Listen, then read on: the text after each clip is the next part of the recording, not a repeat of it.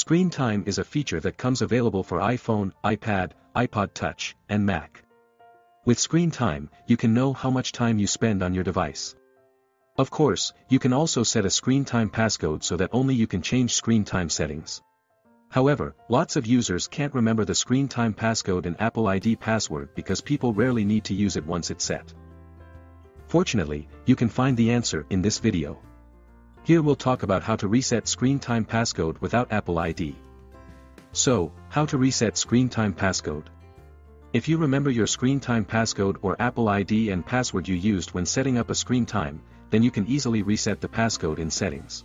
Firstly, open settings and tap screen time. Then tap change screen time passcode and tap it again, then enter the old screen time passcode. Enter a new passcode for screen time, then enter it again to confirm. If you forget the passcode you can take following method. In the settings of your iPhone, select Screen Time. Tap Change Screen Time Passcode and tap it again, then tap Forgot Passcode. Enter the Apple ID and password that you use to reset the Screen Time passcode.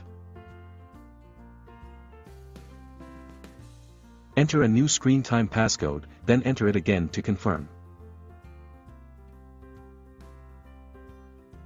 If you don't have an Apple ID and password, the best method to reset your forgotten screen time passcode is to use a screen time passcode remover like MagFone iPhone Unlocker.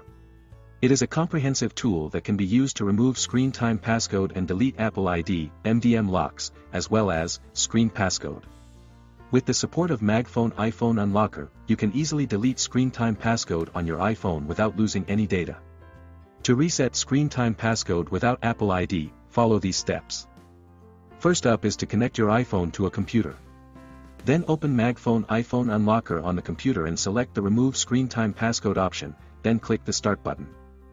To delete Screen Time Passcode on your iPhone, you need to disable the Find My feature first.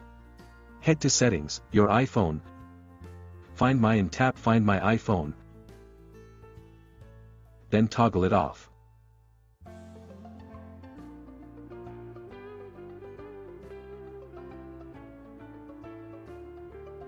Now click the Unlock button to remove screen time passcode without losing the data.